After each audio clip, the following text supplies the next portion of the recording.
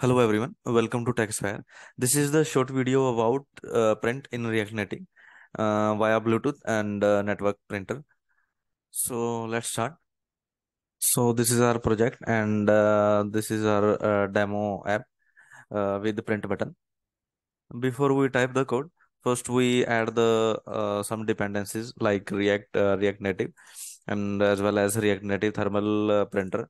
with this we can print and uh, the command of the add the dependencies with the npm i like uh, npm i and uh, give this name alternative thermal printer like this and then enter. After add the dependencies uh, we click on android folder and app and then open the sources and then click on main. And this is our android manifest file.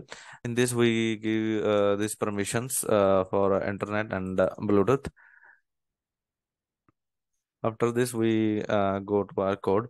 First we import the thermal printer package and uh, then design of a print button uh, is this.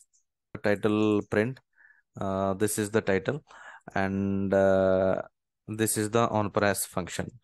Uh, click on go to definition and this is our on, on press function. And uh, here we pass the ip of our printer. And uh, this is the structure of uh, like format of our sheet.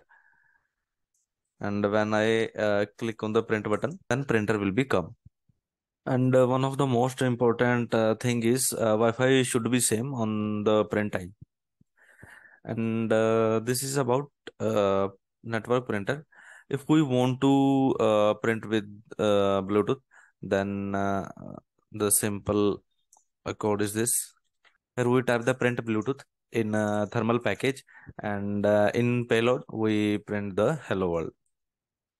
So this is the video about uh, printing react native via bluetooth and network printer. If you have any query regarding this then feel free to contact with us thank you